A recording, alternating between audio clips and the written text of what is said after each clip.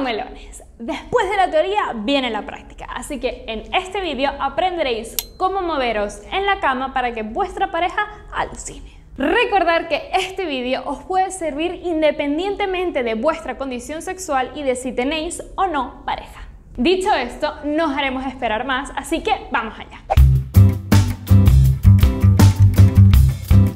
Lo primero que tenéis que saber, chicos, es que mm, por muy al fondo que lleguéis no significa que vuestra pareja disfrutará más. Y esto aplica tanto al sexo vaginal como al sexo anal. Por eso, en el vídeo de hoy aprenderéis tres movimientos para ser todos unos reyes en la cama. Antes de nada, pídele a tu pareja que se ponga en la posición de perrito y que coja una almohada para apoyarse mientras mantiene el pecho y el abdomen pegados en la cama. Recuerda que la forma de tu pene determinará cómo podrás hacer estos movimientos. Es decir, si tienes una curvatura muy pronunciada hacia arriba, es más probable que tu pareja disfrute si ella o él también está boca arriba.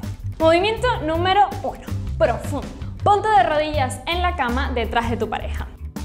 Lo primero que tienes que hacer es arquear tu espalda y luego levantas tus caderas y las llevas hacia adelante y te retiras arqueando la espalda como si fueras un gusanito. Este paso masajea el ano o la vagina en vez de acuchillarlo. Para este paso y para los pasos siguientes puedes apoyarte en la cadera de tu pareja o directamente encima de la cama. Recuerda, lo que se mueven son tus caderas, no tus brazos, así que manténlos firmes. Movimiento número 2, puntita. Este paso es perfecto si quieres estimular las terminaciones nerviosas que se encuentran en la entrada tanto del ano como de la vagina. Es básicamente como el anterior, pero con la espalda recta entras y luego te retiras bajando la pelvis y sacando el culete hacia atrás. Movimiento número 3, remolino.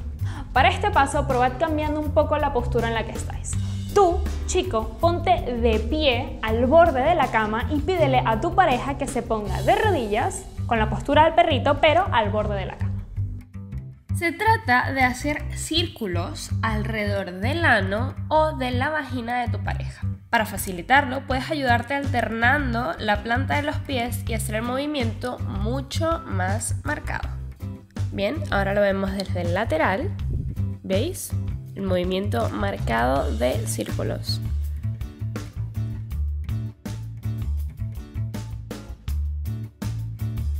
Chicos, recordad utilizar lubricante para evitar esas fricciones y para que haya molestias en cualquiera de vosotros dos.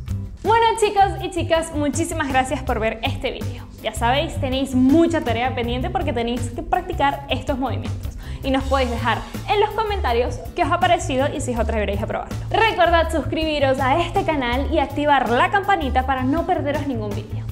¡Chao!